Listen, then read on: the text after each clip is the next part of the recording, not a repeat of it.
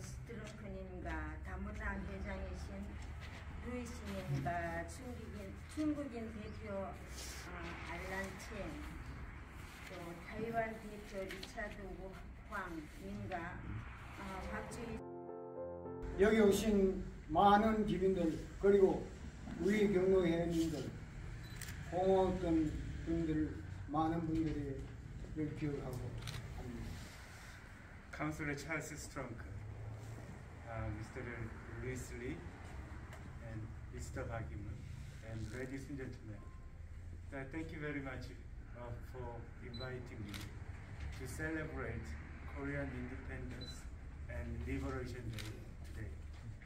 Actu- Actually, the date is uh, uh, August 15th, and uh, but we we take this week as a celebration. uh, so much. So again, thank you very much for the opportunity to come along and to address um, a good uh, a good portion of the uh, uh, of the uh, Korean seniors here, and long may you uh, be able to meet here and uh, and, uh, and enjoy uh, Australia as well as uh, commit, uh, as well as celebrate your culture as well. Thank And you. I start by beginning by acknowledging the traditional custodian of the land on which we meet. And I pay my respect elders past, present, and emerging. Thank you, President Bill Hart, for the invite, and I'm very honored and privileged to attend the celebration Korean independence. And also thanks Hee Park for the this arrangement. Hee Park is the president of Southside Migrant Association. It's always always nice to see the head of mission,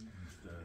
Han Ji Bai from the Council of the Republic of Korea in Brisbane. Also nice to see Councillor Charles Strunk, the Councillor for Forest Lake, always supporting of events. Thank you very much, Charles Strunk. And all, all humbling to see my friends Alan Cheng and Dennis Chu, and also Grandmaster uh, Jack Lee. In addition to acknowledge all seniors, family, friends, Korean community and other diverse community today. Korean Independence Day fall on the August 15 annually when it celebrates the achievement of the military and diplomatic campaign by the Korean independent movement to get independent of Korea. Indeed, this is my first time I can meet and greet the Korean senior group and very honored to attend this event being an Australian of the Malaysian Chinese heritage. I'm always extremely grateful to learn more about the Korean culture. I attend the Korean War Veteran Day commemoration on the 27th of July this year at the Gold Coast and glad to have the opportunity to get to know about Korean community.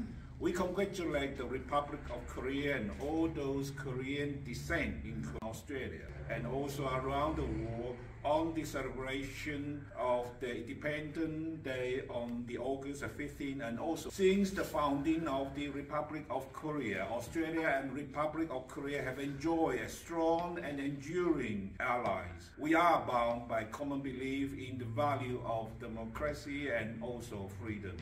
Korean Australians have contributed to our nation in all facets of our life, from business to science to sports to the arts and also to public service. I send my best wishes to you all on this year Korean Independence Day and wish you all the very best health. Thank you very much.